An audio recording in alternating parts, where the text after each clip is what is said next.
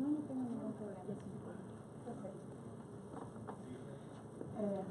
pues bienvenidos a todos al CSD. Es un gusto tener aquí a Etienne Turpin, un filósofo fundador de Annexat Office, Oficina para la Investigación de Diseño con sedes en Yakarta y Berlín, y coordinador de investigación de User Group Inc., cooperativa ubicada en Londres que diseña softwares de respuesta a desastres y monitoreo del medio ambiente.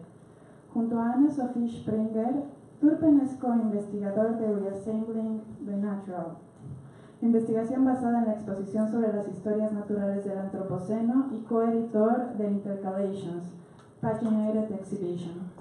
Ha trabajado como investigador en diversos centros, tales como el Instituto de Tecnologías de Massachusetts, MIT, el Centro de Estudios del Sudeste Asiático de la Universidad de Michigan y el Centro Australiano para la Investigación Ambiental y Cultural de la Universidad de Wollongong. Ha impartido clases de investigación de diseño en las universidades de Toronto, Michigan, la Universidad de California, Berkeley y el Instituto Strelka de Medios, Arquitectura y Diseño en Moscú. Asimismo, es coeditor de Fantasies of the Library, MIT Press 2016, Art in the Anthropocene, Open Humanities Press del 2015 y, Jakarta Architecture Adaptation de 2013 y editor de Architecture in the Anthropocene también de 2013. Esta es una plática que organizamos con el Laboratorio para la Ciudad y pues ambas cosas son gusto, Tupín y Gabriela que vendrá después. Adelante. Please go ahead. Welcome.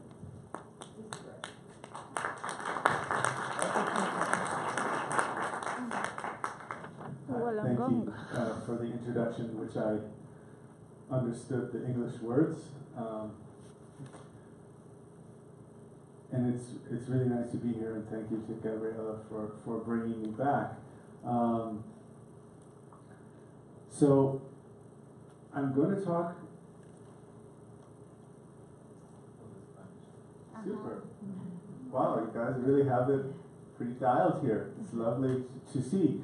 Um, so I'm going to talk about a few projects that are related to software in the city, and then I'm hoping that in our conversation we can maybe geolocate those projects into a conversation about this part of the world where I've only been once before, uh, following uh, uh, last year in the earthquake. We were part of a conversation uh, with Gabriela in December last year and it, it's very uh, interesting to be back, and I'm very grateful for, for you guys for hosting this conversation um, on the 18th of September.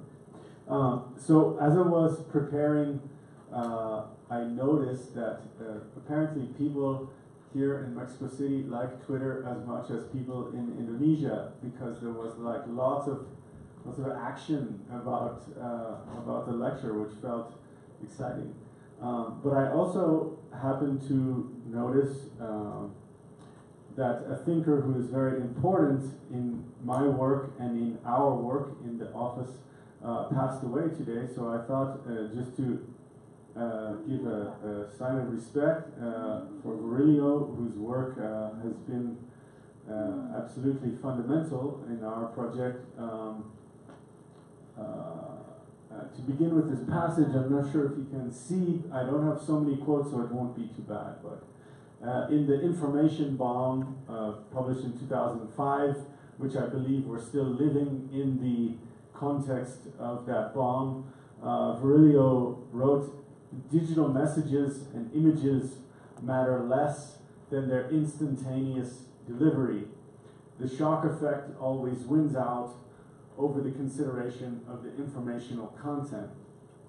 And thinking about the relationship between form and content in terms of information is really something I want to uh, push through in, in the conversation and, and, hopefully in this lecture. Um, because I think rethinking this question of the, of the instantaneous is fundamental for the politics of the city uh, to come. So I'm going to do five parts. Some are longer than others. Uh, some are perhaps more narrative, some more theoretical, but I try to do this in 40 minutes and then we have a conversation. Um, so just before uh, we arrived in this room this afternoon, uh, Marcella and I, uh, somewhere here maybe, had a conversation about uh, living on Mars uh, with respect to the MarsArchive.org project, which was quite fascinating now thinking about it since, since that time. And she asked me at the beginning of that conversation to characterize the Anthropocene for any of you who might have checked out some of our work. You'll notice that that term appears a lot. I'm, i have no idea of its prevalence uh, here in Mexico City, but um, certainly within a number of academic, activist, and artistic discourses, it seems to be proliferating quite expeditiously. I put the term this Anthropocene because I want to instantiate where that happens as opposed to treating it as a universal way of reading human impact on Earth that in each uh, geology and geography and urbanism we can discover an instantiated Anthropocene uh, that allows a multiplicity of ways of understanding human impact, the inequalities that produce it, and the possibilities for changing it.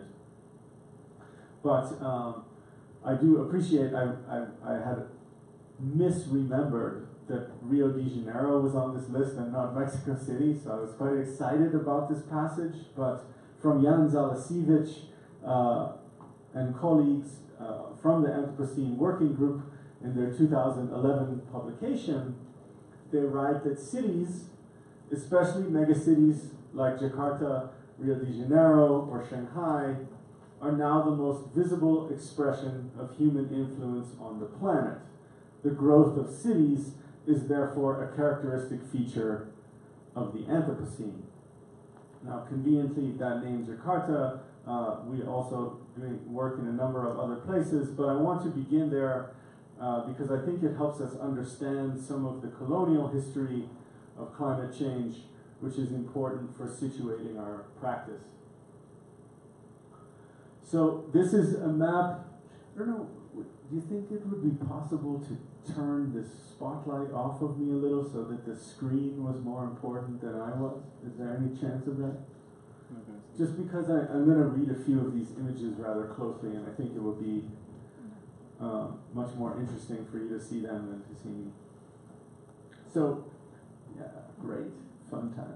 Okay, so this is a, a 1667 map of the city of Batavia, which is uh, contemporary Jakarta. This was produced by the Dutch East Indies Company.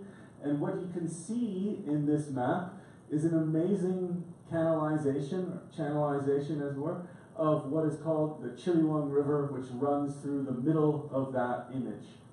And what you're seeing in the late 17th century is the fortification of the most important colonial outpost, uh, outpost of Europe in the most important uh, site for the VOC, the, the island of Java, specifically the city of Batavia.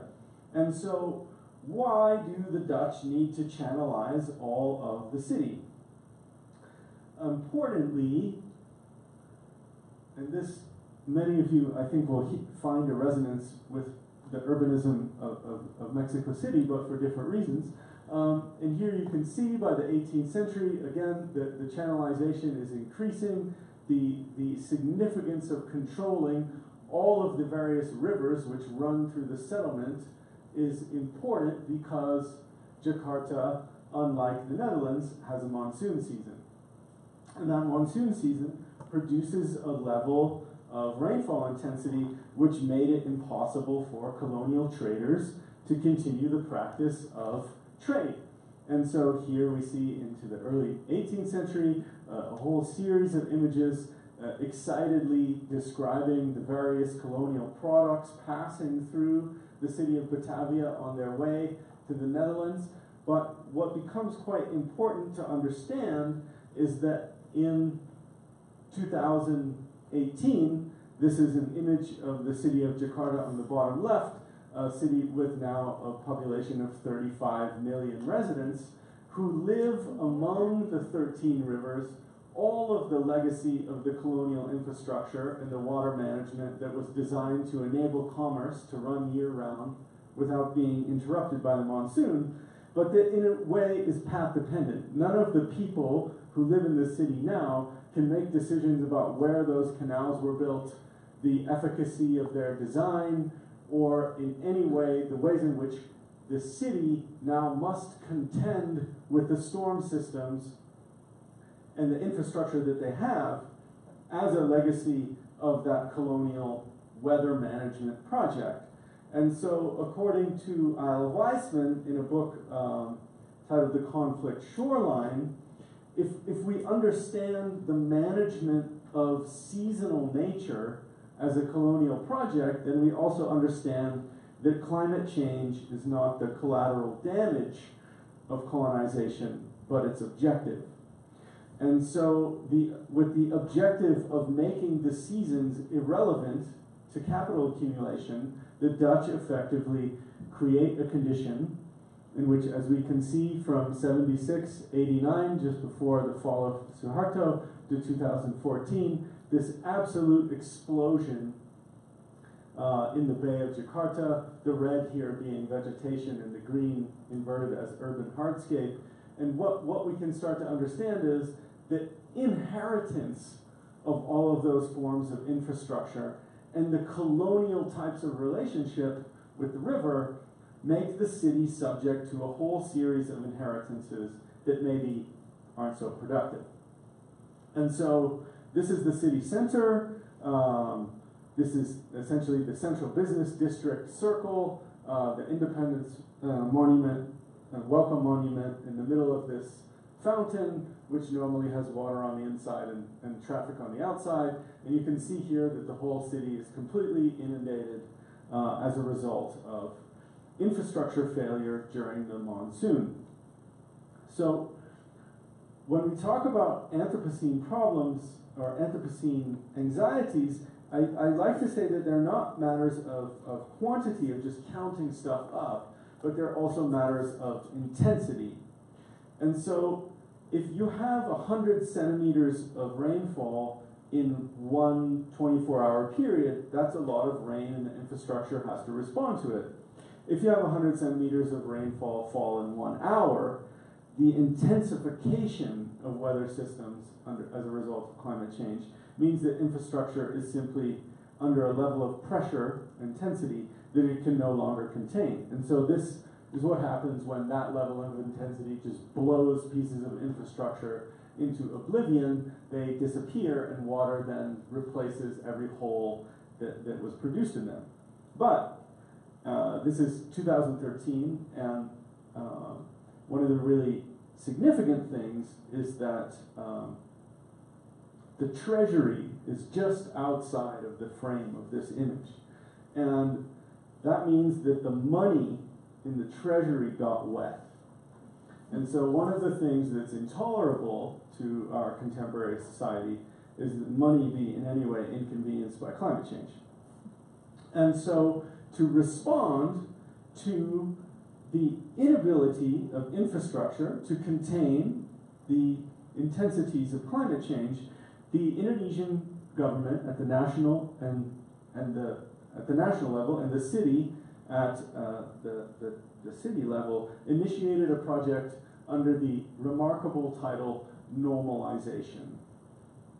And um, normalization, and I'm just going to frame this out quickly because I, I think it's quite important to understand when we say climate change has a colonial history, that coloniality is continuing in the contemporary urban environment with new names. And so normalization is a process that says the rivers in Jakarta overflow during the monsoon. Here's a normal river upstream entering the city. And so, in order to teach those rivers how to behave in a contemporary Anthropocene urban context, they will be normalized, which is to say, they'll be a lot less like rivers and a lot more like canals or sewer systems.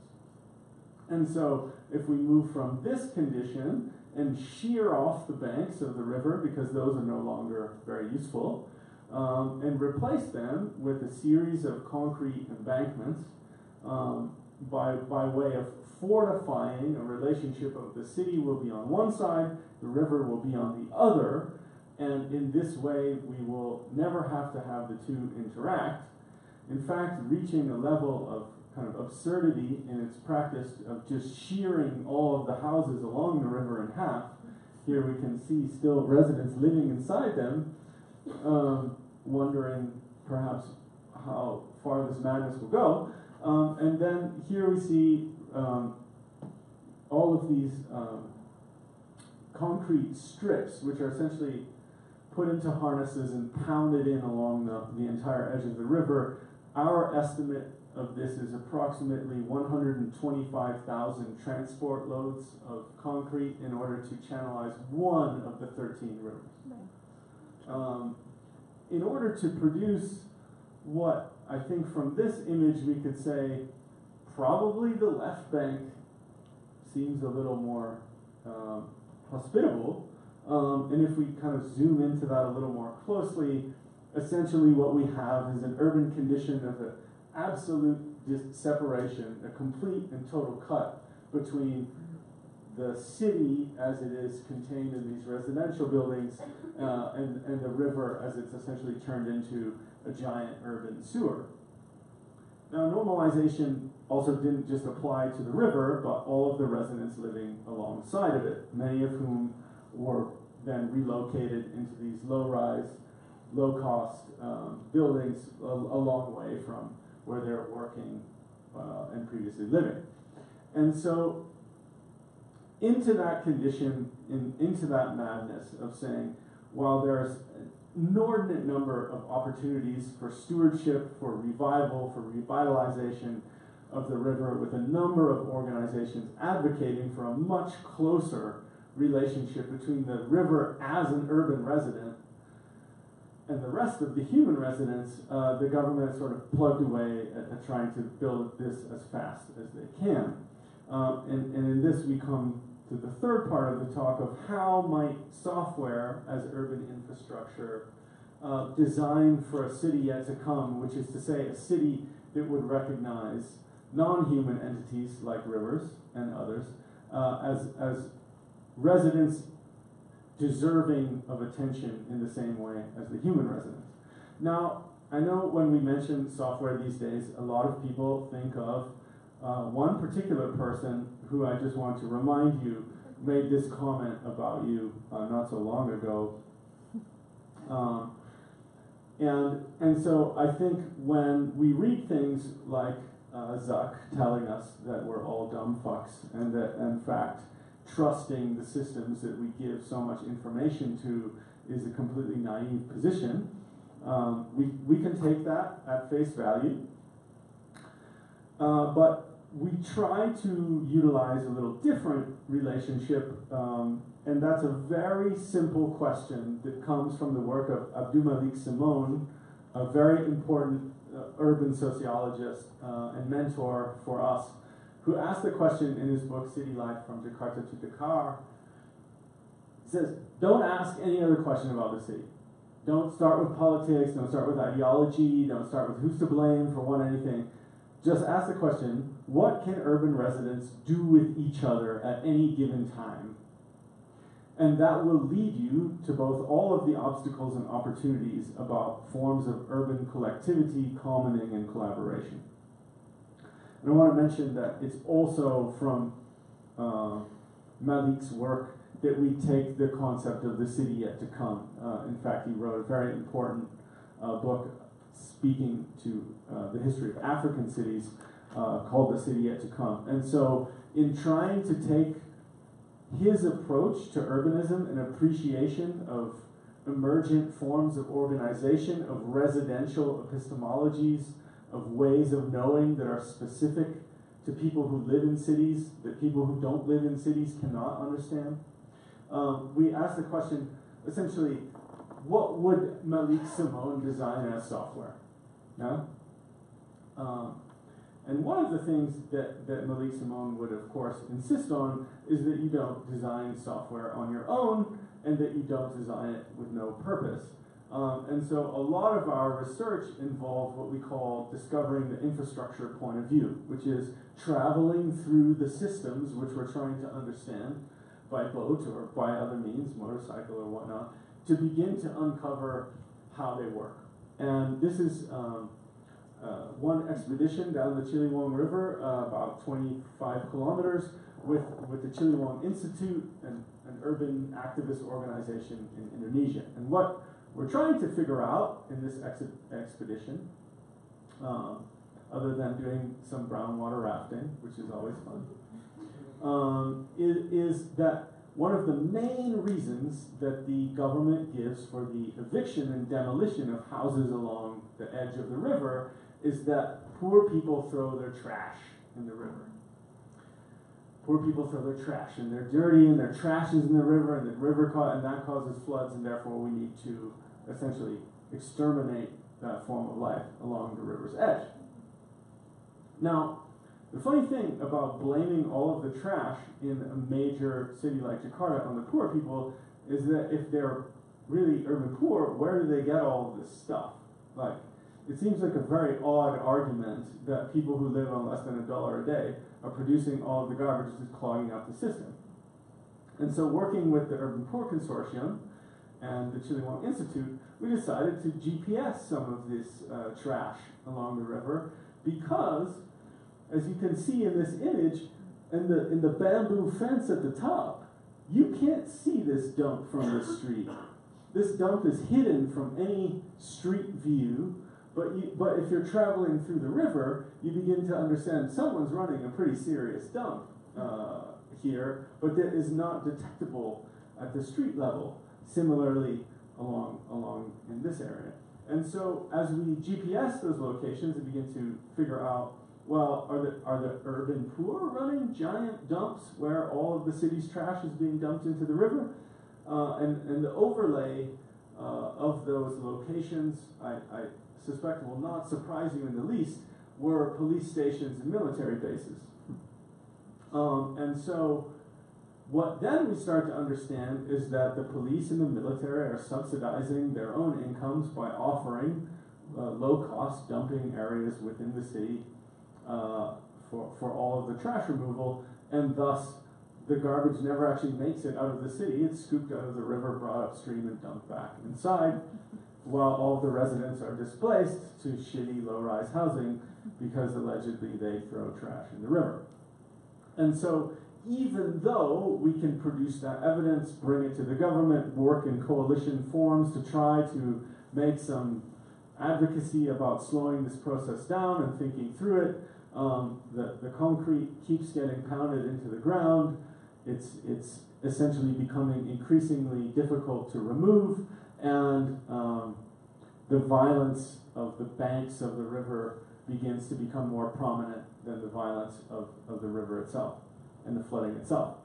And so, one of the big questions then became for us if this is what the city's going to do to try to prevent flooding, what's going to be the spin-off effect for all of the residents. So in a series of really late and long conversations in a number of communities, essentially what we discover is that all of the forms of collective care and response to natural disasters are interrupted by these stupid walls because they prevent ways of crossing through the flood, essentially don't prevent the flood, but interrupt all of the forms of solidarity that respond to it.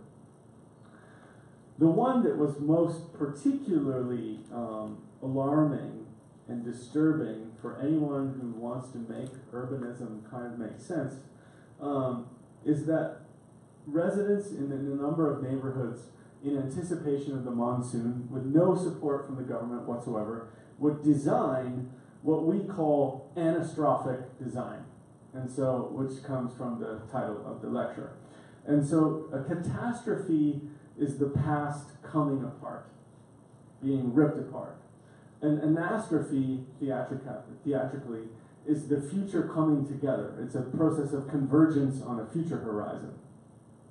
And so, what you're looking at is a, a street in Jakarta flooded up chest high, and this red rope running into the into the foreground of the image is installed in advance of this flood.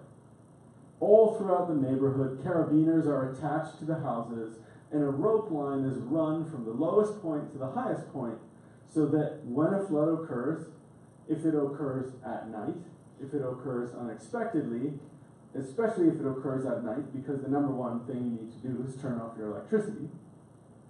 Well, evacuating into the dark and into water chest high is not a particularly good way to find your way out and avoid drowning. So, as this incredibly cheap, incredibly efficient way of ensuring everyone can find their way to a rescue point is a way of saying it's not flooded now, but when it is, the street will be dark, the water will be chest high, we'll want to go from one place to another, and so let's design something that isn't going to cost very much, but that will be in the place where it needs to be when all of these factors converge.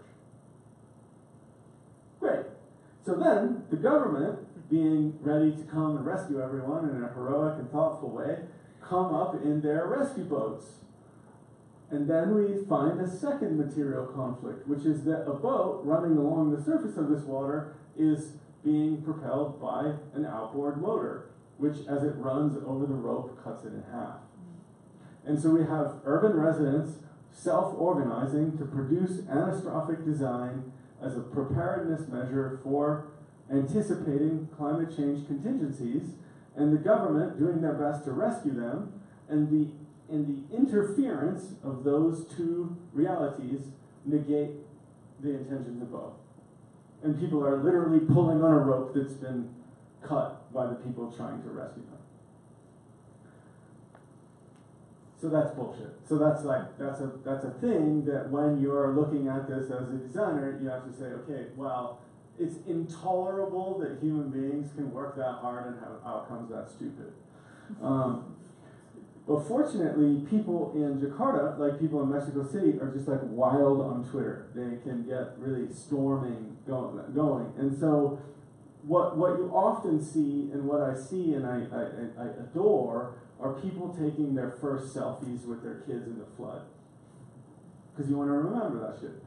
And so, like, and so here it's like, Dad, like, look at this, this is so awesome. And it's like, let's do the thing, and now I'm going to, like, send my message. What I love about this image is that you see Jalan Raya Jatinegara Barat on the top. And it's like, we took this photograph and we were looking at this photograph, and I said, that information is connected to that tweet.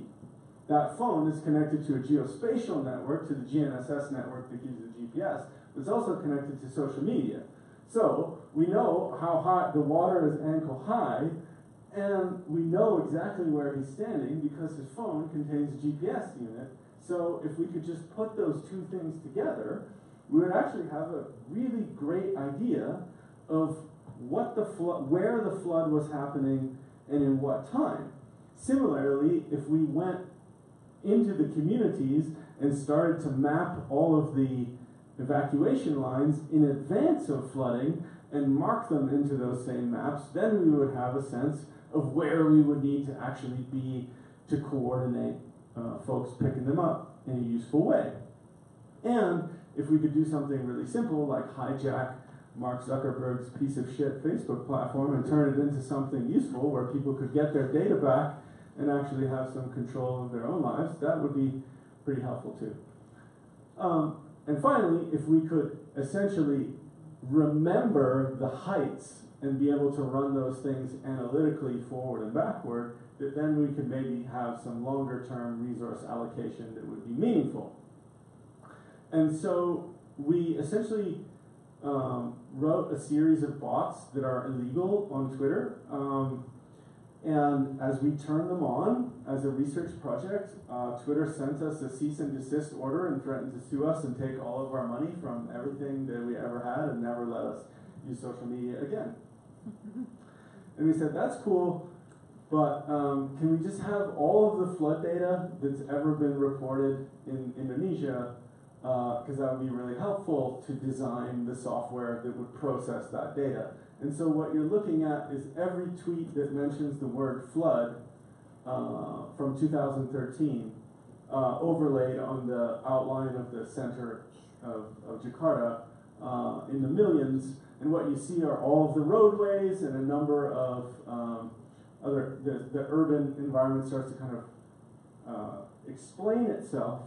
But what you also see is a little white spot here, and I point that out because on the right of the image, this is a military base. Apparently, Twitter not as popular on the military base, but also because of the heterogeneity of the demographics of Jakarta, there's a lot of social media coming from a lot of areas. And what what when we got this data and laid this out, it was like, okay, there's the river. This is this is the river mediated through social media as every person standing in the river, which is no longer in its banks, but now filling the city everywhere, saying that the water has now become mediated as its own torrential form, a tweet storm, and if we could design a more effective software to deal with that, we would really be in an interesting place. And so um, that software stack is called Cognicity. I'm not going to speak too much about it, but I'll just give you a sense of the early form. Essentially, dude's talking about flooding. Uh, humanitarian chatbot goes, Yo, dude, can you tell us about that flooding a little more specifically? He says, Yo, flood is this high. Here's a photo. This is my neighborhood. This is where I'm at. Um, similarly, just calling this one out of like, shit's pretty serious. Can you turn on the pumps, Governor? You know, WTF. Um, and so that began to work really effectively, and we uh, sort of rebranded it as a project called Peta Bencana, which means disaster map Indonesia, um, and start and started to scale to, and spread to various cities.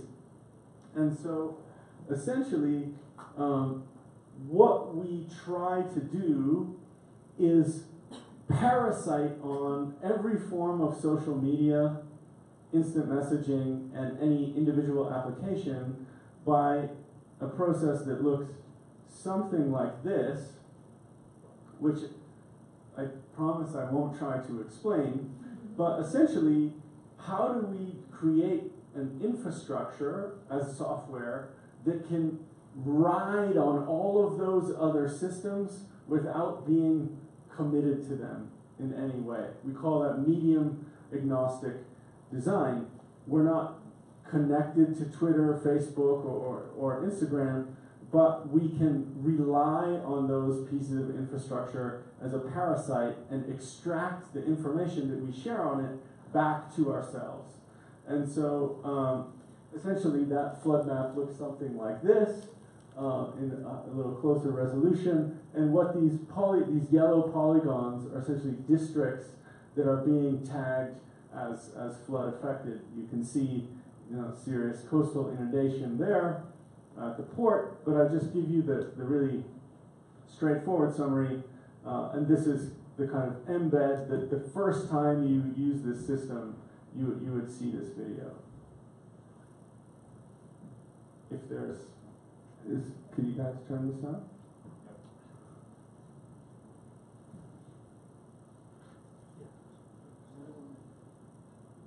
Way up. Peta Bencana is a free and open source risk map for Indonesia. This video will explain how you can share flood information by submitting a report using Twitter, Telegram, or these local applications. When you tweet hashtag Banjir to at Peta we help you input flood information add photos, describe situation, and confirm the location. Then we put your report on a map and send you a link to share with your followers. On Telegram, text slash banjir to at bencanabot so we can help you make a report. Then we'll send you a link to the map so you can see and share your report. We also gather information from these local applications. If you share a flood report with your app, we'll add it to the map. However you report, Check Peta Bencana to see up-to-date flood information. Government agencies also add flood status updates to the map, so watch for this when you navigate. When we all share what we see, everyone can stay informed, avoid danger, and reduce risk together. Visit petabencana.id to get started. So you get the kind of tone of that, of trying to kind of keep it like not apocalyptic and and in a, in a way, a kind of kind of casual participation. Um, but I just want to make a few remarks. That project has now scaled and serves approximately 65 million people in Indonesia. Uh, it was copied and is now being developed in Burma, Thailand, and Vietnam. It ran this year in India, uh, Florida, and we're piloting in the state of New York. Um, and in each of those instances, there, there's a certain build out about the, the specific risk, the specific geography, etc. But what I really want to kind of push uh, as the last five minutes here is a question about, about the politics of urban maintenance uh, in terms of the, the cities of the future that we're going to live in. And, and this, this concern with maintenance came to us not really as much from software as from a collaboration we were doing with the epidemiological researchers from the School of Public Health. Um, and we were trying to understand um, dengue, uh, the dengue virus, which is uh, transmitted by humans and mosquitoes, or can be in our blood and transmitted to mosquitoes, and they can give it to us. Um, and it requires an incredibly intense maintenance regime that's changing under climate change, right? So um, tropical illnesses multiply faster, mosquitoes multiply faster, and in, and in every way, climate change will have tremendous effects um, on, on epidemiology. Um, but as we started to look at the, the politics of maintenance and, and urban maintenance around uh, this fogging process, which is essentially spraying insecticide everywhere in the city, trying to kill mosquitoes and everything else to prevent the spread of dengue, we had a visitor, and this is in our courtyard in Jakarta, in our office, and, and this woman is what is called uh, colloquially a larva lady. And larva ladies come around and check out your pots and your and stuff in your house, and then they kind of shame you if there are mosquito larvae in them. And they're like, don't you realize what you're kind of doing in your neighborhood? And in a way, it's, it's a sense of a very low budget program of local folks hanging out and talking to people in their neighborhood about how a behavioral change can have a radical effect on reducing forms of illness in the city. And when um, Larva Lady came to see us, she was like, Yeah, the government is going to cut this program because it doesn't prove that it re- reduces uh, dengue outbreak. And so what we asked was, how do they prove when these dudes spray poison everywhere that this is an effective means of uh, mitigation where the women promoting behavioral change in their own communities are treated as completely negligible? And the answer, unsurprisingly, is that BASF, formerly IG Farben Group in Germany, who produce these chemicals, have lab tests that say that if Indonesia doesn't spray these chemicals, many people could die. Um, and so we have, in essence, a very interesting neo-colonial relationship of supply, which allows European science and technology to say, if you don't continue this regime, spraying this into all of your markets and all of your, in every possible place, and creating an urban spectacle of, of maintenance, um, you, you're putting your own population at risk. And so we were asked by the larva ladies, could we start producing, um, in, in essence, a quantification or justification of their work? And I, I bring this up because I, we, we decided not to do that as an organization, and instead, we really started to publish a lot about the European chemical industry and the way in which it was manipulating um, the, the municipal government in Jakarta. Because ultimately, and this comes to the kind of final point about maintenance, is that what we're trying to do is produce a network of both the users of our software, which are predominantly in these places, but appearing more in other cities. Uh, and if you're interested in at all in that, um, this is all open source, available through GitHub. But what we're really trying to focus on is creating communities of care and communities of maintenance that utilize technical systems as a way of helping each other pay attention to and understand situations more carefully without ceding that knowledge to other parties. And so, working with the larva ladies, we said, yeah, there's a lot of research we can do together, um, as, as we do with other organizations, but let's also kind of push back against the quantification question and say that forms of behavioral change, social care, and social engagement are actually meaningful on their own terms and need to be fought for um, regardless of any comparison to a European uh, chemical lab. And I, I, wanted to end on this project about humanitarian infrastructures, but I, I just want to say we're following that research, we began to work very closely with Médecins Sans Frontières in understanding how they can be reading urban epidemiological information at a global scale and feeding back and forth between the urban stacks of, of the software for the city yet to come, and at the same time pulling that into a new relationship between humanitarian organizations, urban organizations, and a model of decentralized, coordinated information sharing that allows residents to do things with each other whether or not governments are taking the steps to respond to climate change uh, as we need them to be. So I'll end it there. Thank you.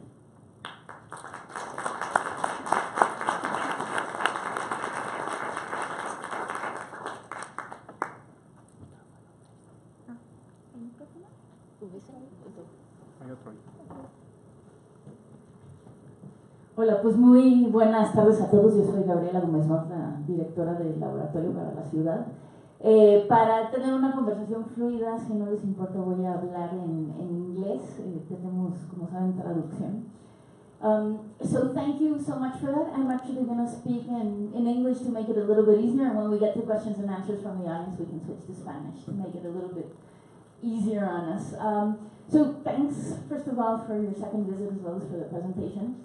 One of the things that um, your presentation was provoking was some memories of the time that you were here last, which was several weeks after we had a terrible, terrible crises here after the, the earthquake that, as you know, we have our anniversary tomorrow. So in, in uh, many ways, I think our experience here in Mexico City, experiences from other people that were also here with you, uh, as well as some people that came before, such as the Ushahidi crowd, are teaching us that this whole conversation around governance and how do we actually think about much more horizontal structures becomes every time more urgent, and especially during a crisis, and that there's a lot of lessons that can be learned from these spaces where the price is incredibly high, but possibly so are the lessons. Um, as you know, but for the people in the audience, we visited quite a few people that were fundamental in, in organizing efforts from civil society. And we saw that there was a very painful relationship with the government because basically we were traveling in two very different spheres at the time. So tell us a little bit, like, what are your thoughts post Mexico City a year after? I know you also had a couple of conversations today uh, with Karma visiting some people.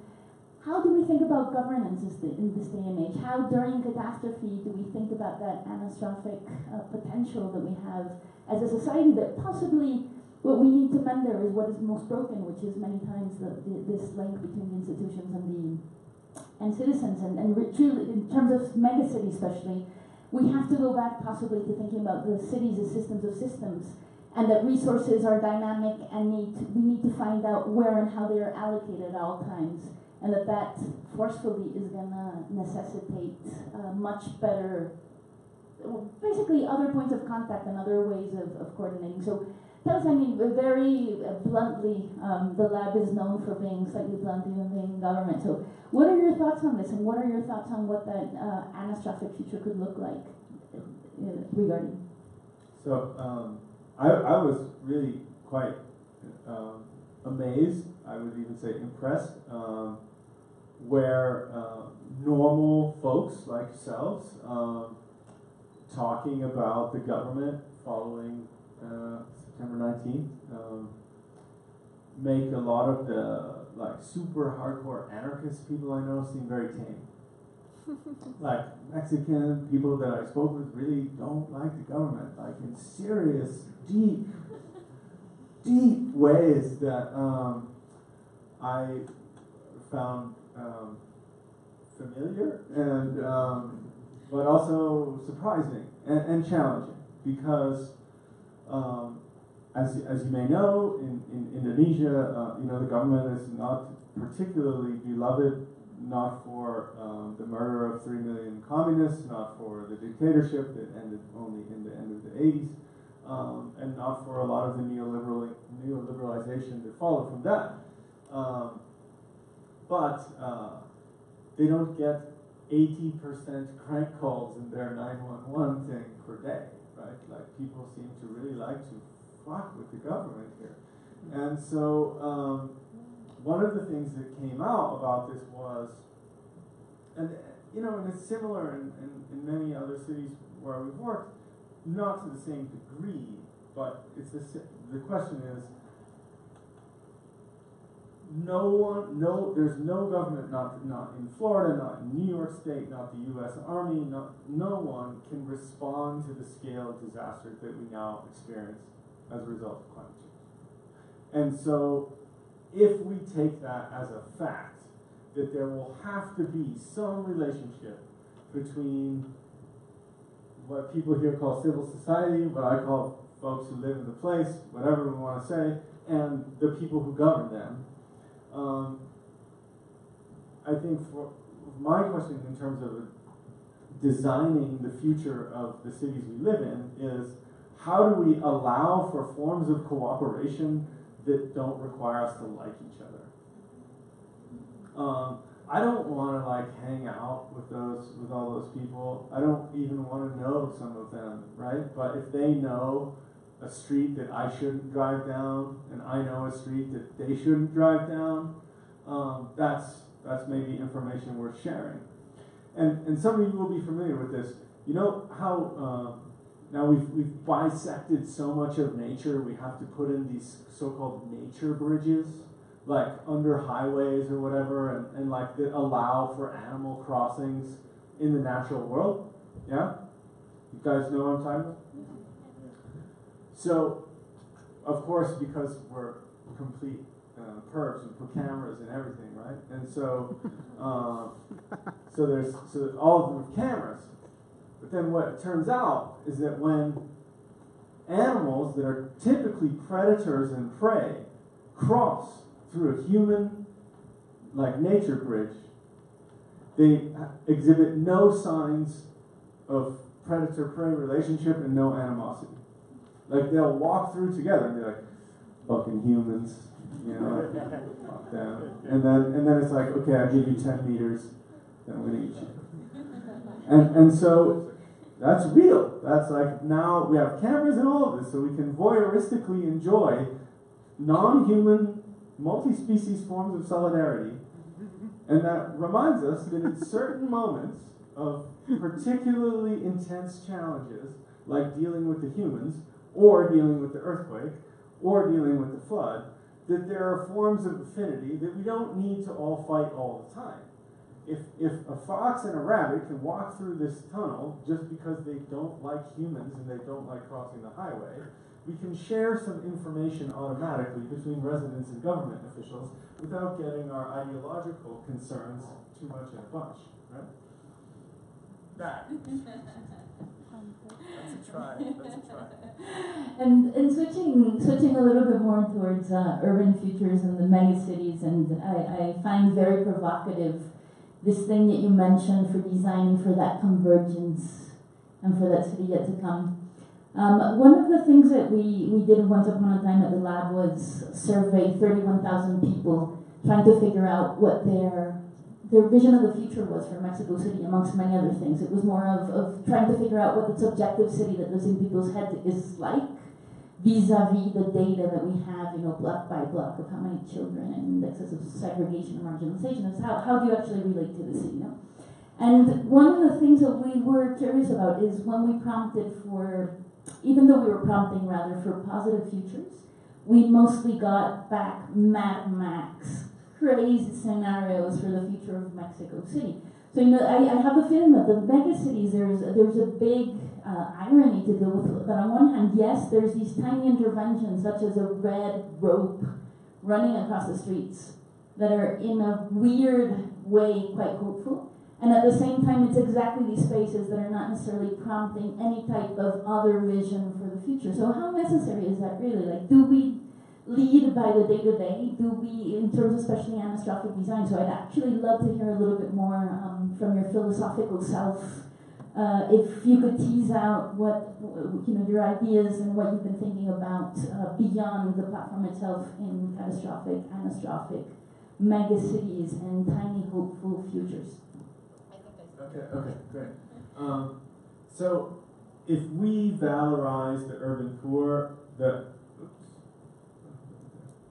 the the um, the World Bank will uh, will fetishize them, and if and that's that's a kind of condition that we're in, right? But I think regardless of how, I mean, I don't show that rope story because I don't think those people should have more resources allocated to their day-to-day situation. I show it because it does what the government can't think of doing with 10,000 times the amount of money that they have. Um, and so when we have these conversations often, people say, yeah, but you're just doing the job of the government. We talked about this today in, in some of the interviews we're doing. And it's like, look, we need to talk about how urban resources are allocated to urban residents. And the way that traditionally we allocate those resources is we elect representatives to go and deliberate over how those resources should be designated. Um, and that's worked for a few hundred years, more or less, sometimes better than others. Um, and I just don't know that those forms of representative deliberation are really gonna do the do the thing for the types of futures that we're that are converging. Um, and so I think that how we begin to design ways that residential epistemologies, ways that people know the problem because they live around and with the problem, direct investment, capital, resources towards the things that they would like to see fixed about it, um, is not a revolutionary position. Um, that people who understand how a problem functions in a particular area of the city would have insights into what would be the way to deal with it. Um, but this just requires a different conception of, of how governance is responding to residential knowledge rather than trying to dictate how the city should function and then assuming that any number of surveillance cameras, police officers, and other forms of securitization will be able to deliver that vision. Um, and that means giving up a lot of control, but they're going to have to give it up one way or another. So, you know. And I guess it also points towards um, experimental practices because these, I think, lessons. I mean, I think our, our inheritance from modernist days where we thought that cities were things to be molded, not only rivers, but everything else within it, including society, was supposed to be uh, molded by this big, unwieldy hand from above. Um, so I have a feeling that we, we have to go into new spaces and also be ready to, to, to try out other things. I'll, I'll ask you a couple of questions regarding um, but it reminds me of um, another exercise that we did when we were mapping the informal bus system of Mexico City. So, we, you know, since it's a gargantuan task, and there's like 30,000 microbuses across the city, 1,400 routes, um, we gamified the whole thing. Uh, sorry? There weren't maps. There were no maps. Right, but No they maps. worked. Uh, sorry? But they worked. They work. So this is actually what I'm, I'm getting to, which is still an open-ended question because we still haven't figured it out.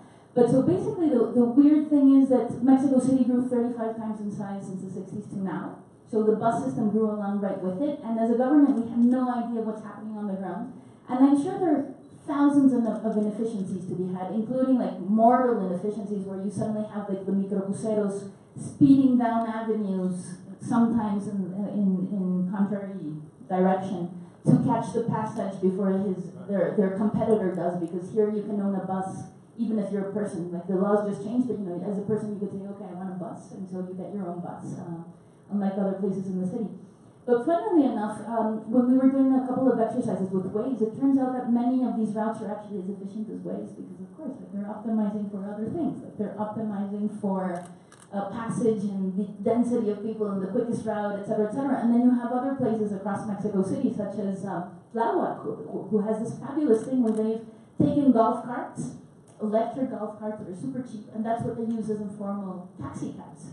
So they're super cheap, they're super efficient energetically. And then you have in Tláhuac up the mountains, you've got like these battered cars that are giving uh, taxi service because no other normal car will go up there. So you have a city inventing its own solutions to a mobility problem that is huge. Like we have the most painful commute here. And it's been very interesting, not necessarily successful yet, but you know, trying to sit with the people um, that do mobility and say, instead of prohibiting it, because that's actually where we're going towards, is how do we actually use that as part of the system? Like how do you figure out where the inefficiencies are of an emerging system, and then comes in the top down. Then you go, okay, like you know, maybe we should do this, and maybe here we should not have like 20 microbuses or whatever. Um, so I'd be curious to know, do you have any other examples that you're hopeful about of experimental practices and on any scale, like uh, on a larger, uh, smaller scale, knowing that you traverse not only tons of disciplines but also tons of cities in your life? Um, so, just because you give the traffic example, um, so in Washington D.C., um, they they put in a toll highway coming into to the like downtown to like the core of, of Washington, and um, you know people don't want to pay a toll, so everyone would leave the highway, go into like essentially you know suburban neighborhood drive the length of the highway come back on, right? To avoid this, this toll route. Which then meant like there's tons of, of what is highway traffic running through these neighborhoods and everyone's kind of like, what, what the fuck, and complaining, you know, why we gotta do something about this. And then of course someone's like, watch this, and takes out their Waze and just reports an accident on the road. And then none of the cars will go there because Waze is like there's an accident, so they stay on the highway. So that essentially the, the whole community just realized, well, just went whoever's like up first, just like put an accident and like keep all the cars out of our neighborhood. And I think that, that those are like useful things that explain system. Like it's a super simple thing to put a, an accident Waze but it explains a whole series of other urban processes and also just gets rid of the problem. Like, we don't need to go to our congressmen and get them to pass a bill. It's just like, no, don't bring your car here. Like, we, and in that kind of software arms race, sometimes just like the easiest hack gets rid of the problem. I mean, we can talk at huge scales as well, but um, I do think that, like, that's residential epistemology. That's someone saying, I don't want my kids walking down the street to school with everyone running the red because they're trying to like drive on a residential street as if it's a highway, and they don't care about this neighborhood because they don't live here. And like, so how do we get them to stop? And it's like, well, we know the thing that they're all using. Let's fuck that up and get our neighborhood back. Like those, that's residential epistemology for me. And so the question is, how does that aggregate, build itself up, find ways of, of um, creating momentum that distributes resources at the next scale? Last but not least, before passing the questions to the audience, um, I know that there is a few people interested in design in, in the audience, and um, looking towards the future into these things that you're imagining, what is the role of the philosopher designer? Like I know that you you open up the Strelka, um, the Strelka. I don't know what you call it. Is a, it is a, is it a, a course, a seminar? Like you open up the seminar, and your place is actually to mess with the new generation of designers' brains and get them thinking in much more provocative ways, and uh, not necessarily the little boxes that we put design into. So could you tell us a little bit about that? And, and we, we have, uh, we've been thinking about uh, at the lab and then I think I think there's a growing interest in Mexico City from designers saying like, what is a new role for us in, in, in these type of societies and these types of futures? I'd love to hear a little bit more, and then we'll pass over the microphone to the audience. Well, humanities folks out there will, will be familiar with the fact that philosophy has been obsessed with the city since both of those things kind of came into being together, at least in the fantasy Western imaginary of some like oily Greek kind of bathhouse. Um, and because, you know, I mean, I, I lived in Jakarta for five years and, and now I'm based in Berlin and arriving in Mexico was just like, oh, yeah, you know, home. Um, and because there is so much to to think about, and any any urban artifact can lead you into a kind of infinity of possible ways of reading the city, the politics, the ethics, the, the love stories, the, the, the conflicts.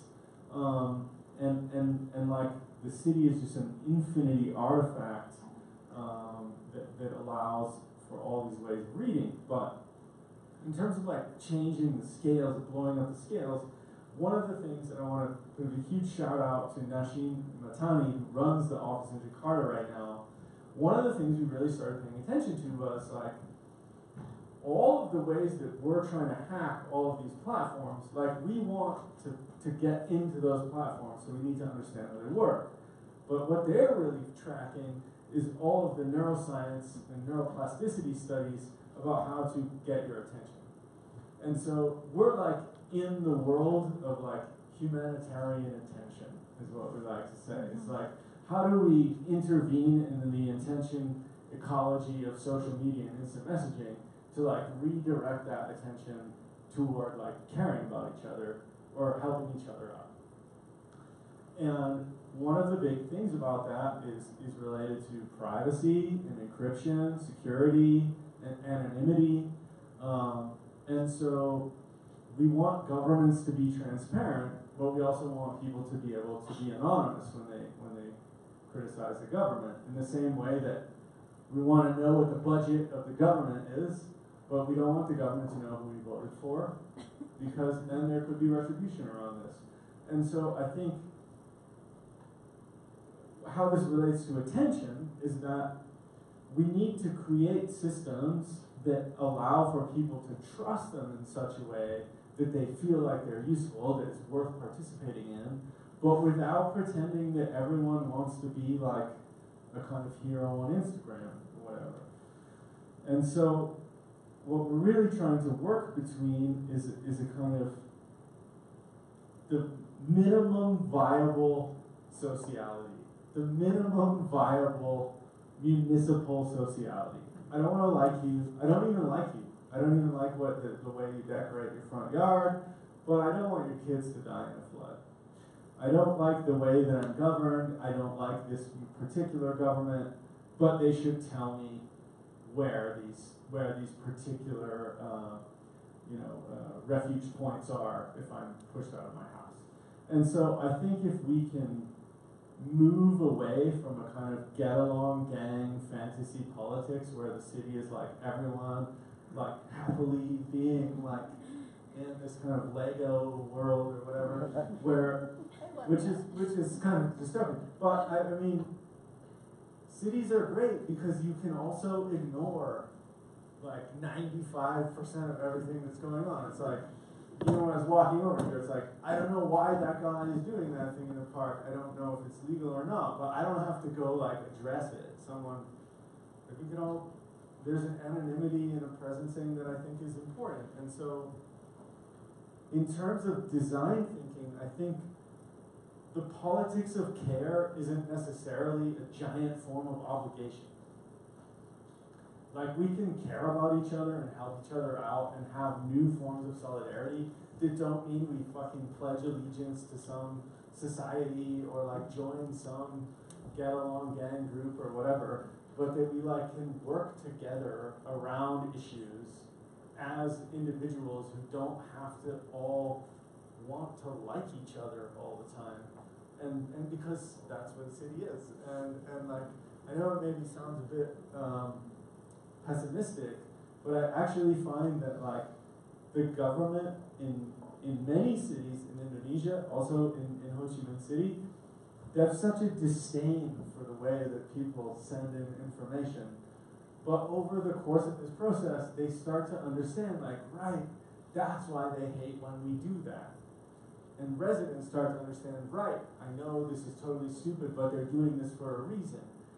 And there's a tremendous amount of friction. We were, we were saying this this morning. There's a tremendous amount of friction between a formal and informal system.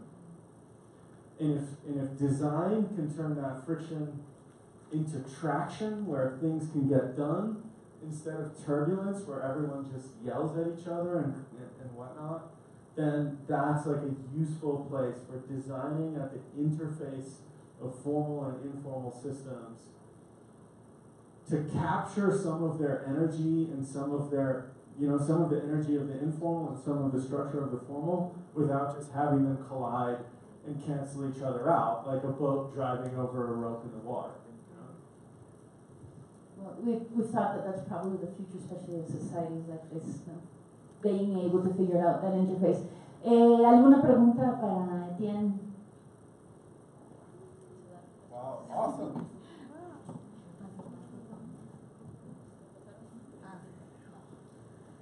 Hola, buenas noches a todas y a todos. Y muchas gracias por esta plática, Gabriela y a Etienne. Esta pregunta sería un poco para ambos. Um, ¿Ustedes considerarían que las nuevas formas de participación a nivel local, comunitario, en las grandes ciudades, son parte de este futuro anastrófico en vez de esas formas tradicionales de planeación gubernamental con vistas más generales, casi nacionales, pero que con el tiempo se han visto cada vez como más, más rebasadas. ¿Qué, qué comentario tendrían al respecto?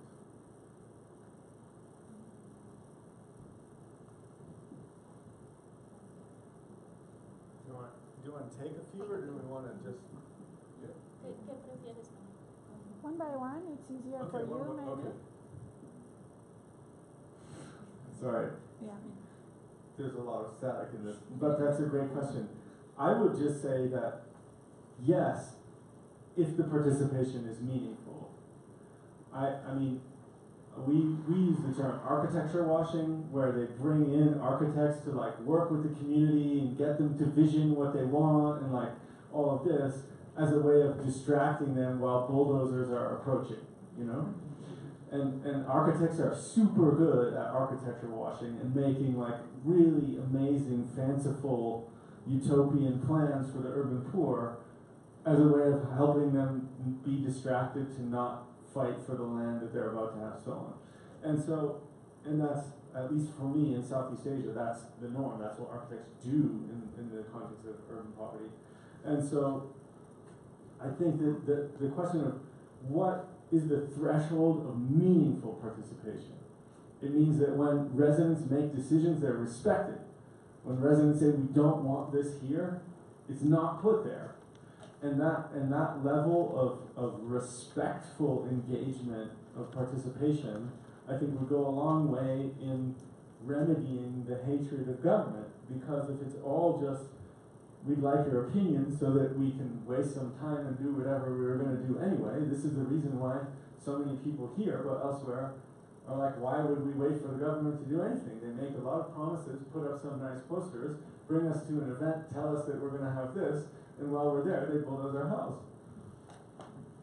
Me, me parece una gran pregunta y siento que justamente eh, lo que dice tiene es importante de cómo no se vuelve simulacro.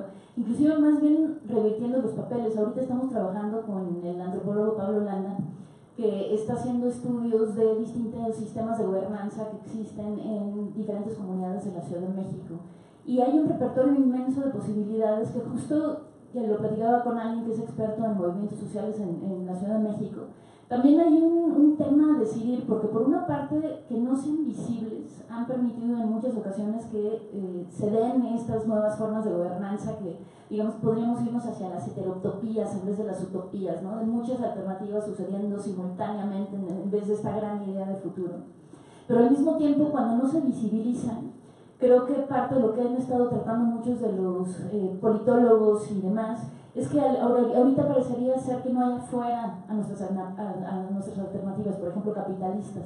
Entonces, en el momento que no visibilizamos estas otras formas de generar comunidad, de organizarse, como podría ser el colectivo de Palo Alto, como podría ser inclusive darles un clavado al pasado y ver qué ha pasado con los ejidos, con las cooperativas, con las economías sociales, que México tiene una historia inmensa de haberse generado desde ahí, entonces siento que eso podría ser una, una gran discusión, especialmente para ciudades como la nuestra, porque suceden simultáneamente que sucede todo el resto. Lo único que creo que es delicado y que hay que ir pian pianito es justamente qué rol tiene el gobierno en esto para no cooptar esos sistemas sociales que están sucediendo bien sin intervención del Estado o del gobierno y básicamente entender más bien cómo lo, lo potencializa. O hablando, o sea, con el ejemplo de Tienda Yakarta también me vino a la mente eh, Xochimilco, con más bien pues sí, de, las señoras y las larvas y demás, en donde pues justamente las grandes corporaciones convencieron a los chinamperos que tenían que utilizar fertilizantes porque por eso no les estaban rindiendo las chinampas. Hoy en día la acroponia, que es uno de los sistemas más avanzados que hay, súper productivos por metro cuadrado, está basado en las chinampas. Había una sabiduría hace 600 años que perdimos y que justamente espero que se recupere y que entonces en el momento que no tomamos en cuenta eso, visibilizamos ese saber que ya existe en nuestras sociedades, sí siento que de pronto se vuelve muy vulnerable a estas grandes eh, y, muchas veces monolíticas ideas de lo que deberían de ser nuestras sociedades, nuestra política, nuestras formas organizacionales y demás. Entonces, con la cautela de vida, creo que efectivamente ese es el futuro que debemos investigar para sociedades como las nuestras.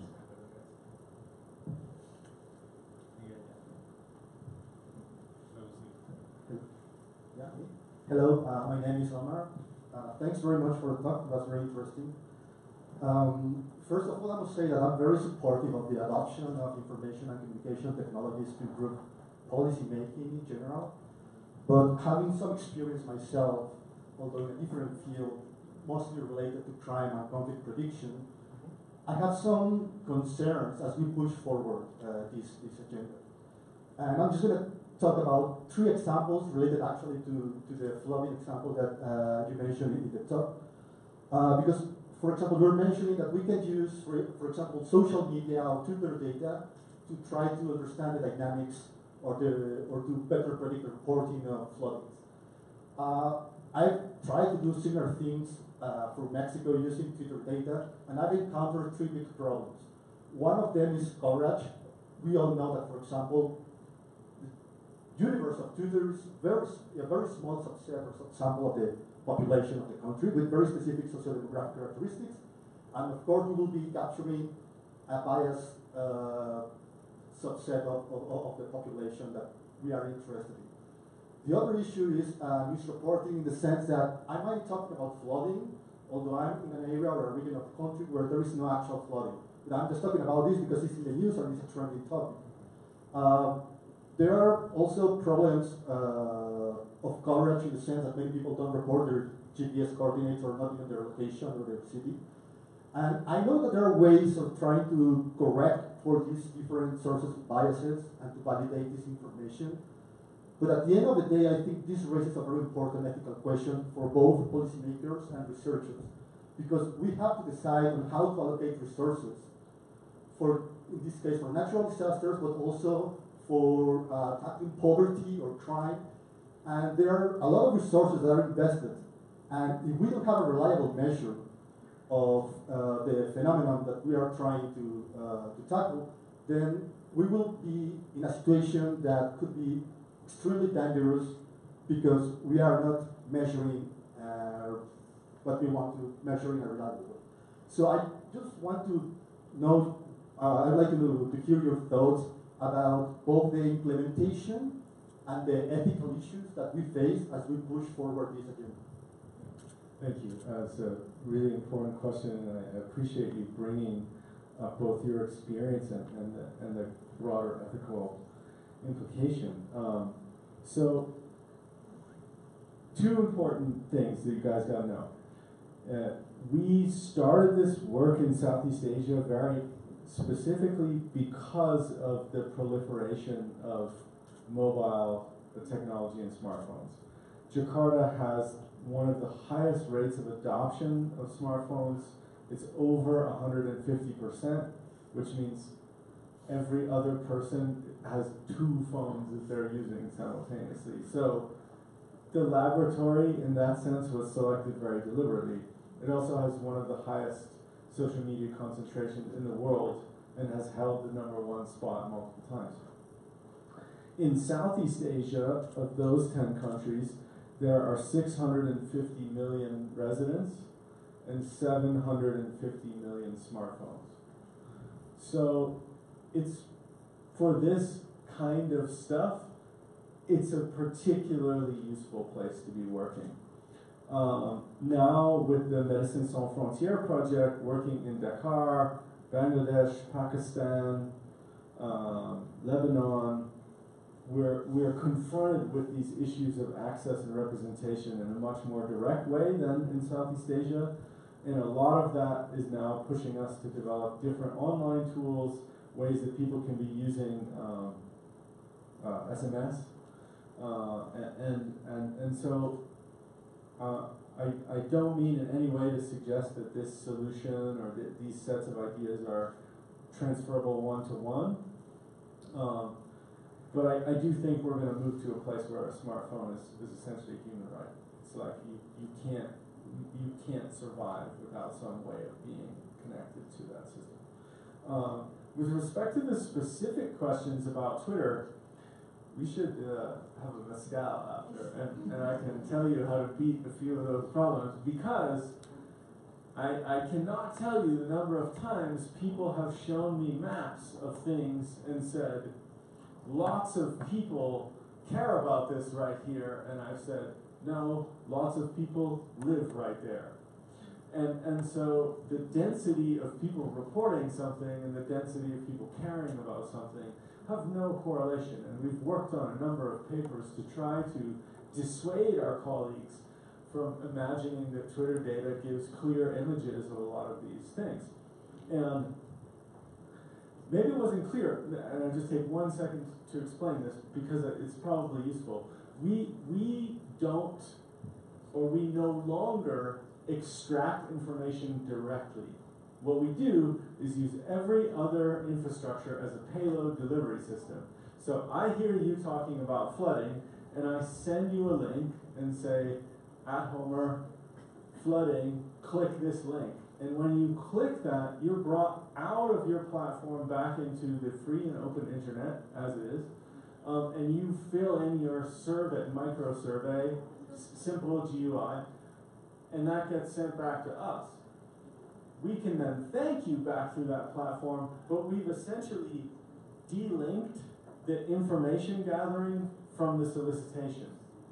So the GPS and everything else that Twitter and Facebook can block, we can get through another mechanism. The brutality of these lessons and the hours and nights and months and, and, and years of trying to find a way to extract from those platforms without being tied to them is why I would encourage any of you who want to do anything like this to just freely take anything out of our open source stack because it's now you know a multi-million dollar piece of free software that can resolve a lot of those problems um, that you should you know that are that are pretty smart ways of dealing with those those specific issues. But we can I'm happy to talk about them really in detail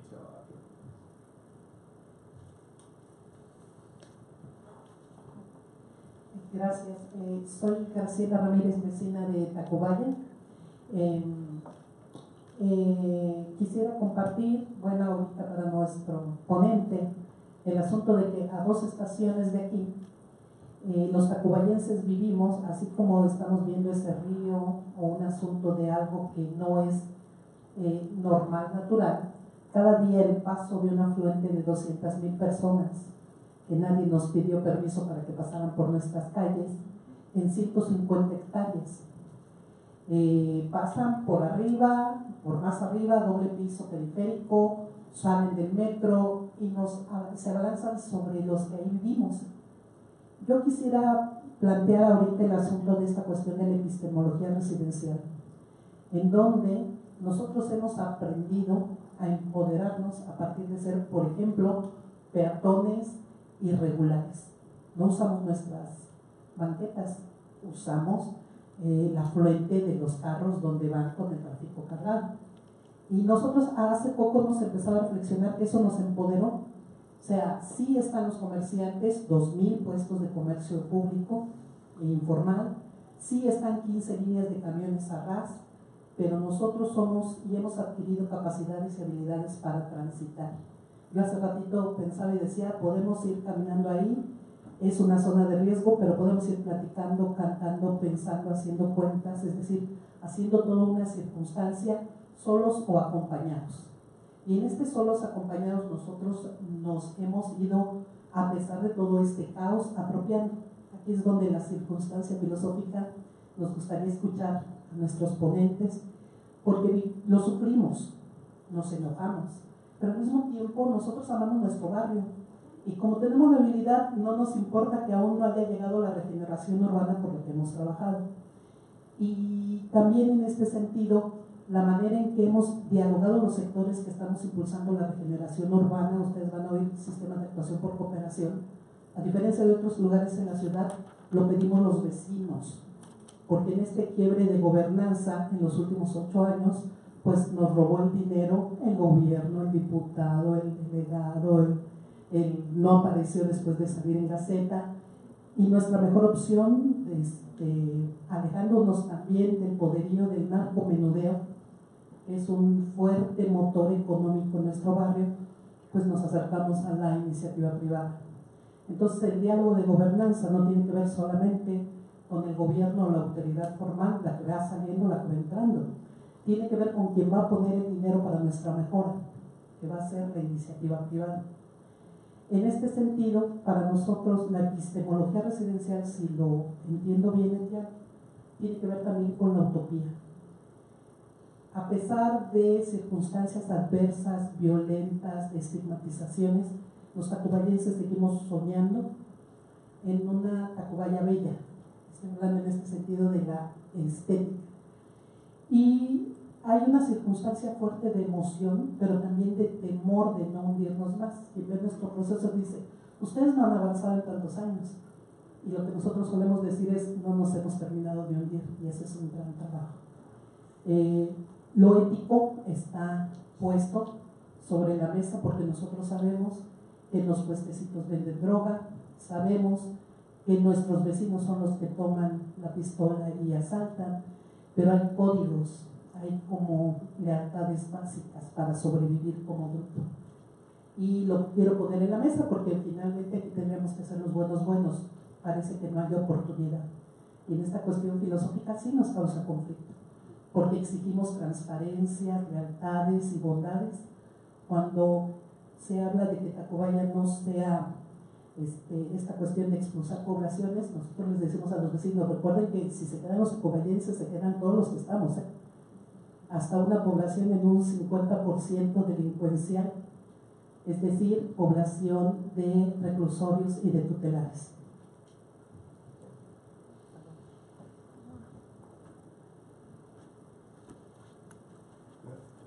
translation it just runs a, little behind, but I, I would, I, I don't know where, where they are, but they, but to just say um, thank you uh, to the translators for uh, making of this conversation possible and acknowledge that labor.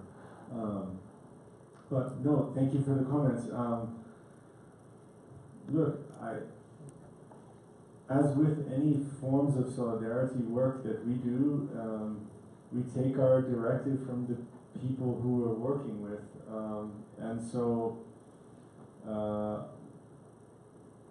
this is very slow software, this is slow science, uh, if we want to call it that. We, you know, the platform that I described to you took years and years to build. Um, thousands of hours of, of meetings with, with residents who were affected um, and with government officials. And I think that that's something that um, is really underappreciated in the world of academia and in the world of, of, of governance, which is that building the relationships that are necessary for people to transform a space in a positive way, uh, whether there's technology involved or not. Um, it's not done as a semester studio, it's not like a, a visit, it's not a tourism project. Um, and I think that one of the really challenging, or one of the things the concept of residential epistemology tries to challenge is that the, the sort of North American, uh, especially in America, US, uh, United States schools, Canadian schools as well, European schools, they want to come to Mexico or Jakarta or uh, Manila or whatever so that they can bring some solutions from their from their academia. And they come for a week and talk to a person in the kampong or a person in the favela, and then they come with a solution. And it doesn't work that way. Uh, the texture of cityness, the, the intricacy and complexity of love and fear and cruelty and concern and care and the depth of neighborhoods um, and how they might start to leverage some of their own histories and some of their own momentum into certain directions, technically, infrastructurally, architecturally, um, can only be effectively and meaningfully led by those residents, whether through co-research or whatnot. But I think what it really strikes uh, strikes me is is when you describe the situation um, that any designer who would call themselves a designer, who would have the audacity to propose something in this context, um, I would hope is, is willing to spend the time to really be there and, and, and absorb that residential epistemology. And that would be entirely at odds with the design disciplines as we now understand them. And so I think in our repeated commitment to this question of residential epistemology is also a refusal to this kind of startup culture of like, I'm going to make a solution and spin it out in all of these places. Um, and one of the reasons why, despite tremendous pressure to turn this stack into a startup thing that we can sell to all of these cities, um, was well, we want people to work. We want we're going to give this thing over, and then people will make what they need to make with it. And maybe they're going to deal with crime. Maybe they'll deal with an earthquake. Maybe they won't use any of it because it's completely useless for their problem. But um, I think getting away from urban design as a product um, that is a thing that you either sell or deliver, and thinking of design as a way of cultivating, strengthening, and diversifying relationships. Um, and, and, and understanding that not all of those relationships are good. Some of them are, are very difficult. But, but um, design is a process of creating momentum and, and, and strengthening and diversifying relationships. And I think that would really change the approach when people want to be working with a community like yours. They need to take a really different uh, ethical approach to that.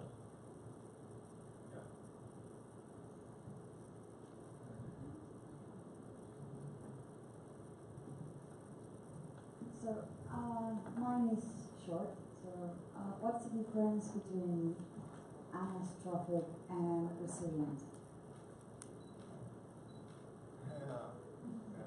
Do you wait, wait, wait, I'll give it away. Do you have a suggestion? Or, or are you, or give me a clue. Are you a, do you, are you a resilience person per se? How should I answer? Are you looking for pro or con resilience? No, me a hint. No hint? No, I would like you to, to tell us.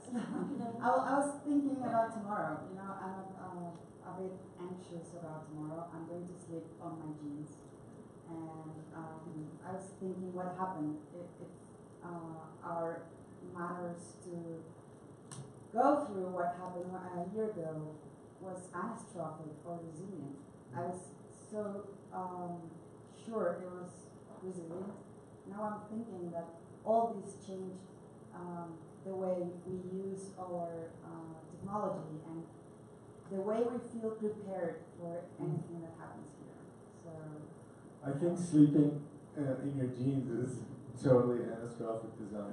I, It's- I'm never, I'm never going to be on my underwear in the street again. Yes. And you know, I actually, that is one of the most, from people that we have done ethnographic interviews with about earthquakes, underwear is the number one theme of like, not a chance I'm being in my underwear when that happens again. So you have like a global community of anastrophic jean wearing sleepers who've, who've got your back tonight.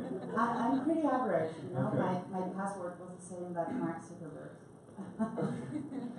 Um, but um, so I think that uh, there's a lot uh, to learn from the, the discourse around resilience. Um, we have, you know, been engaged with a number of, of people who are maybe like the people who really kind of push that along. Um, I've always been kind of taken back by this um, this poster that, that people put up after Sandy in a number of um, racialized, predominantly black and Puerto Rican neighborhoods. It was like, "Don't call us resilient." That were like postered um, as a like, that's not helping, yeah. And I think that that comes back to some of your comments, but also what I was trying to say earlier.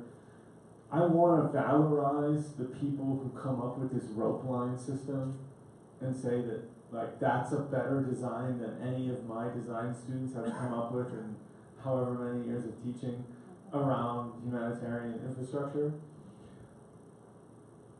But it doesn't mean that they don't need other resources in forms of social care, including ones that come from governance.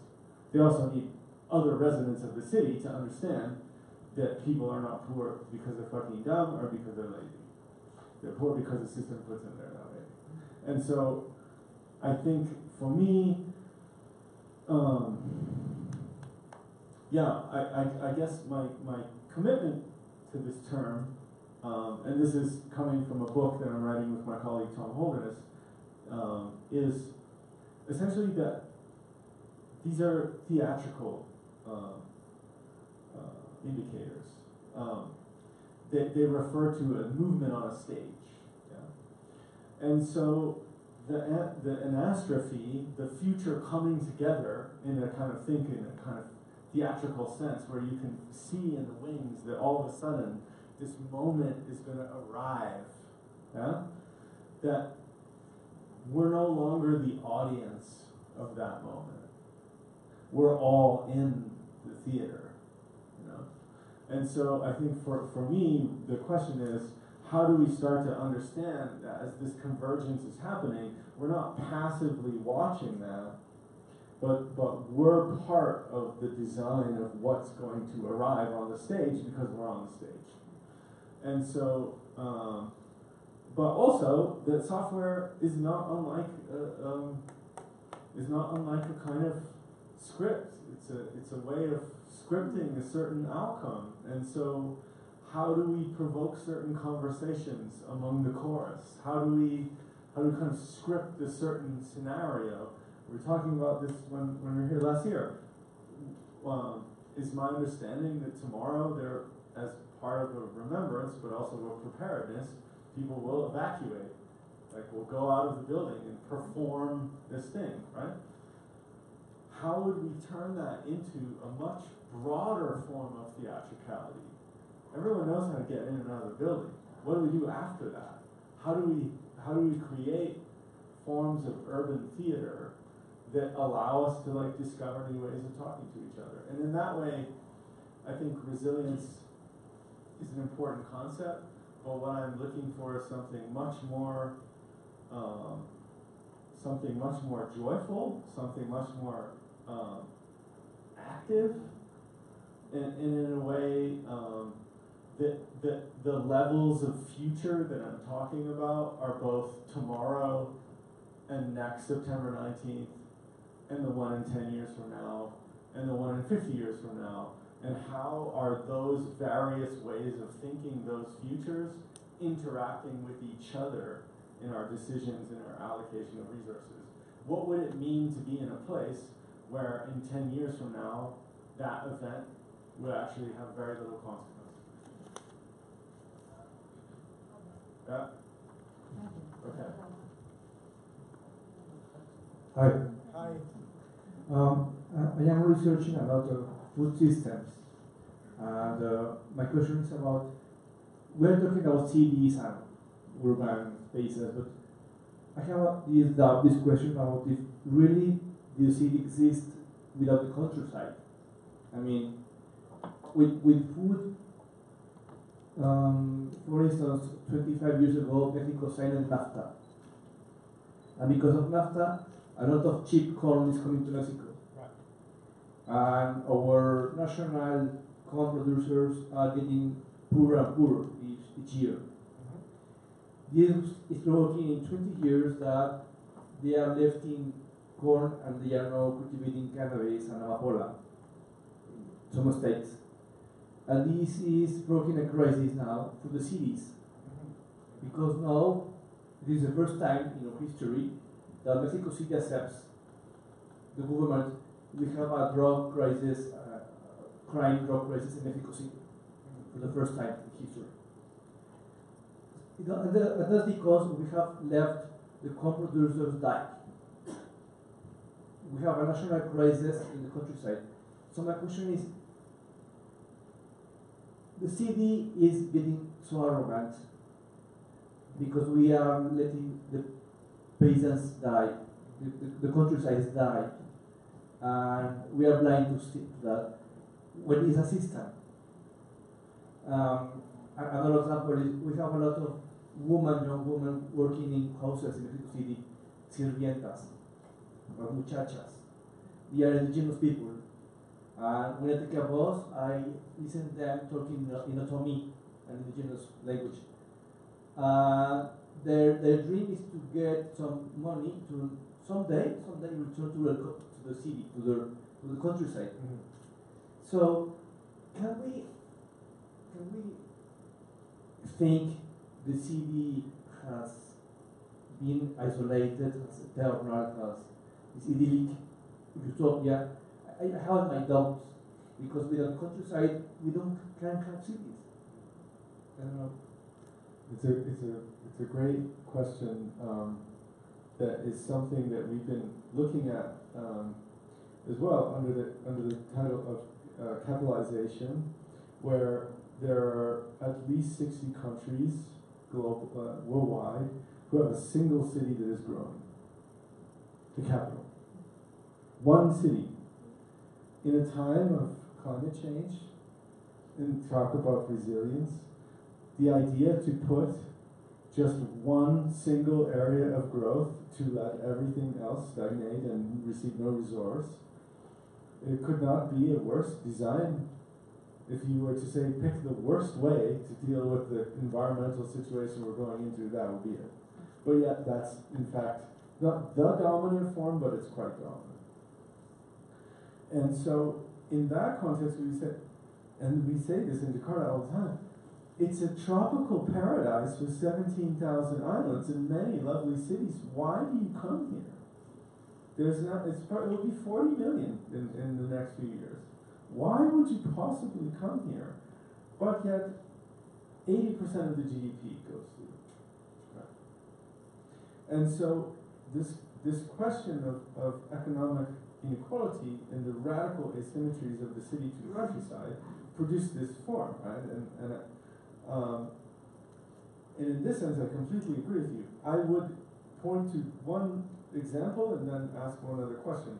The example is a colleague, uh, Daisy Tan at uh, University of Hong Kong, who adopted our software to do uh, food security and redistribution of food resources um, in Hong Kong because there's actually a lot of hunger, there's a lot of food need, um, but it's also there's a tremendous problem of scarcity because Hong Kong imports really everything. And so if you have a bad storm or a few boats can't come in or what, it can very quickly produce a very, very precarious situation despite the tremendous affluence, right? So even a city like Hong Kong can be shut off in a matter of days where there's literally no food. Um, and so they've been working on the version of Cognicity that's essentially doing food logistics with, with our platform. And this has raised a number of really interesting questions, both about long-term food security and about the engagement of building out more meaningful connections between the city and the, and the supply chain, in a sense, that, that make that a sustainable set of relationships. And I, and I mean, I think there's a, can have a long conversation after this about the importance of that form of, of recognizing the metabolic rift, as Marx calls it, as it is, and how would we begin to heal it in meaningful ways. And I think there are a number of platforms that are also trying to put our attention to that. La última pregunta. Thank you so much for this uh, really interesting talk. Um, so I'm an anthropologist and a civil engineer studying flooding in Mexico City. So in some ways, I feel that, there's a lot of similarities between what we're talking about in Jakarta. I'd love to talk to you more about them. But I think there's also a tension that maybe I face from my indoctrination as a civil engineer of trying to build big things and fix things, fix problems, this sort of modernist vision. And what I see on the ground with people as well, you know, I study both engineers and, and residents. And I wonder, you know, look at, you know, in the case of Mexico City, the budget for water has been declining for such a, or it's stagnant, you know, stagnant related to the, the needs. I mean, I did the calculation it's 20 times less than the budget of Seattle, which is where I'm from, and the city is, you know, 16 times bigger. I mean, it's something absurd. And so, to what extent are we, do we conflate in this Anthropocene that, you know, oh, it's really big challenges, you know, you know, right, climate change is going to bring things we've never seen, and, but at the same time, in the same period of time, we're seeing budgets that have, are keep going down. I mean, people, you know, uh, budgets diminishing, and so, And then I think about you know adaptation versus um, you know trying to actually, in some ways, fix the problem. I mean, if maybe these problems can't be fixed, maybe we're always going to flood to some extent, but you know, there's a part of me that says, well, why? You know, I think you're saying that you know it's not just they don't just need ropes; they also need something else.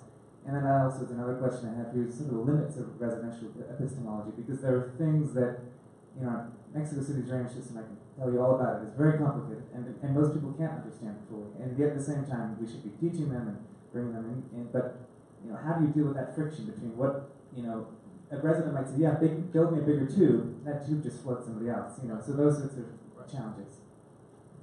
Uh, that, that's, that's, um, yeah, it's a good question. So, look, I think that in the end, there's there's no there's no there's no kind of test that's going to be like this this should be fixed, and this we can like ad hoc this a little, you know.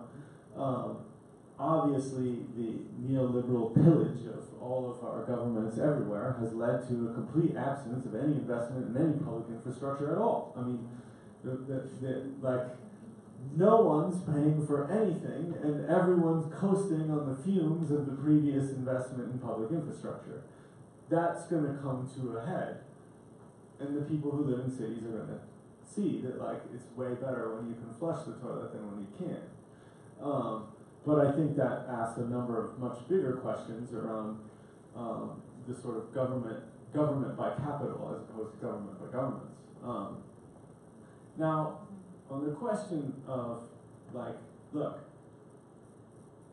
I want the people who make the ropes to have more access to resources, but I also don't think that we should be espousing a future where everyone in the world gets to have the carbon footprint of someone from Texas. Um, that's not progress. Um, and I think our, our complete obsession with development and progress has put us in a position where the idea of an improvement in the quality of one's life is the increase in one's carbon footprint. Mm-hmm. And that we need to delink those things. Um, and that again comes back to the density of relationships, how can people live better uh, with much less requirements. Uh, interestingly, on this point, we took the survey of livability that my colleagues did in the city of Sydney in Australia and did it in like one of the poorest kampongs in Jakarta. And the people in the poorest kampongs in Jakarta are like way happier than the richest people in Sydney, which is no surprise to anyone who's been to Australia. but um, no offense, person. Um, uh, you know, just, but but it's like wow, all the livability metrics, walkability, care for your kids, close to work, like network, neighborhood network, ability to respond to this and this, it's all there. But it's not capitalized in the way it needs to be. A lot of the questions of the ad, which systems of ad hoc are are okay and which kind of should be paid attention to so people don't die in a terrible fire or you know basic forms of public health. Um, but again, this comes back to the larva ladies. It's like we have ways of encouraging people to behave better. That's like your neighbor kind of making you feel bad. That's way more efficient than paying a German company to spray, spray insecticides on the children. And so I think that like paying attention to how we guide those forms of investment and really interrogating, you know, everyone believes that there's someone somewhere who knows the cost of that insecticide in relation to human life and other forms of urban life. What did we find in our study? This is for a civil engineer. I'll give you a good one. So these engineers, like this guy, come and they say you have to spray this much and this cracks and you know you, you saw the image, yeah? What did we not expect to find of this? That for every time that is sprayed, any mosquito that survives, its children can tolerate that chemical. Which means that, like our overuse of antibiotics, our overuse of urban insecticide produces then essentially a time bomb of dengue coming at us, which all engineers in the city say is necessary, but which if we just step back for a moment and say, yeah, but the exponential rate of mosquito reproduction and dengue reproduction inside those mosquitoes means that if we do this 10,000 more times, we're all going to die. Um, like, run that, run that model, right? And so I think the question is not to dismiss kind of civil engineering questions, but to contextualize them in terms of all of the other factors that are converging. And if we start to think of the cost of concrete against the cost of water, if we start to think of the cost of fogging against the cost of hospitalization, if we start to actually have a more robust social and environmental accounting process, then there's a lot for, for engineering and anthropology and all of our backgrounds to, to give to this, but the conversation has to be much more diverse. And we can't pretend that like mosquito, like dengue is a problem that lives inside of a mosquito, therefore if I kill a mosquito, I beat dengue. Like that's so caveman shit. Like cavemen were not that stupid. And so how did we end up in a place where we wage war one thing at a time as if we're like completely lo- lost our mind, you know? And so I, I would say like that's where the, the limit of residential epistemology is like when we're so attentive to everything we can't make a decision. But that's a long way on the other side of where we are now, spraying poison on our children, hoping that it'll keep them from getting sick. Bravo. La última y nos vamos, ¿no? Una última pregunta, por favor. La ultimísima. No, please on the on the microphone because we. No, please don't. Everyone Sí. use it so Uh, hi, I, I'm really interested in what you were saying about, you know, how to have this collective intelligence all together and especially how to make different stakeholders work together in this minimal viable caring. Yes. Uh, and as you come from MIT, I would like to ask you about the U, the theory, U theory from Otto Scharmer. Have you heard? No, you haven't heard about it. Okay, but I saw you draw. Yeah, this is the one. And actually, it comes, you know, it goes down, but it comes on the way up. It uses design thinking. Okay. So, okay, I'm just giving an example because you know some people are using it, Right. using this methodology, and even Scharmer, but actually I do have, I'm Brazilian, and I have a friend that is working around the diabetes, a uh, uh, child, child diabetes in Brazil, and putting all together this. So, if not the, the U theory, can you give us some example and some methodology or some framing or some, I don't know, some philosophy around how to to create this trust environment? Okay. Um, so, um, just quick correction. I was a research scientist at MIT for a few years, and I'm no longer there, but I do appreciate um, the valuable PR that that institution gave to a lot of our work. Um, but um, let me just say two things about that. One is that I am grateful that you guys entertained these neologisms that we're trying to work through, particularly the anastrophic and the residential epistemology. Um, and as a philosopher, I, I have a lot of distaste for people just making up words so that they sound like they're talking about something new, and everyone knows that that thing has been what we're talking about all along. And so I really try to bring that to bear on my own writing of not saying, not making up words when existing words are entirely sufficient to describe that thing. Um, and in the case of this book, Software for the City Yet to Come, um, the anastrophic question and this question around theatricality and participation, this is really trying to do some concept work that we feel isn't done by other things, although it does traffic in resilience and other similar discourses. Um, and similarly on the residential epistemology side. But one of the things we try to do is say, like, does our work require new concepts to describe what we're doing? And only in the case where we really don't feel like it can follow in, you know, we don't we don't have so much time to be developing the theory of the work because we're really busy doing a lot of the work. But when we do want to intervene in that context, we are trying to develop concepts that maybe represent things that are not coming out of MIT, United States, or Europe, and that might be relevant for other people thinking about cities in non-dominant cultural space. Um, and the, the other thing that I would just say about about theory and like what what to put to work, we, we talked about this in the interview about Mars. Um, we do bring a lot of philosophy to to the practice, um, and but in a very in a very precise way, which is to say that um, our motivation for doing this work is not to make cool technology, and it's not to like be on fucking Wired magazine. It's because the problems that we see and the ways we want to live better with people in the places where we live and be able to care about people better than we do now require us to make things together.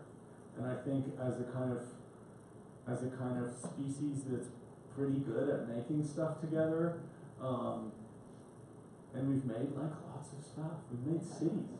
Cities are completely fucking crazy things to make. Um, but like how to keep in the process of like making together without um, losing the direction of why we want to do that in a way relies on I think on a lot of philosophy. But I, I do I do think that being attentive to both the joy and the cruelty of living in a city and finding ways to celebrate and respect both of those things um, would slow down a lot of urban design and software design, but it would also make it a lot better. And so, just want to say, really grateful, amazing questions, and thank you guys for, for hanging out. This is an incredible space. I heard they're hiring. I'm maybe going to try to just get back, just stick around. So awesome! Thank you guys so much, and and just thank you again to the translators and to um, to the tech labor. Uh, thank you for making it live. And thank you. Oh, muchísimas gracias a ti, Mariana, todo el equipo del CCB, el equipo del laboratorio que apoyó efectivamente la traducción afuera y gracias a todos ustedes por, por asistir. Esperamos que sea la primera, o la más bien la segunda plática de varias por venir contigo, Etienne, aunque no entiendas lo que estoy diciendo. Así que gracias a todos.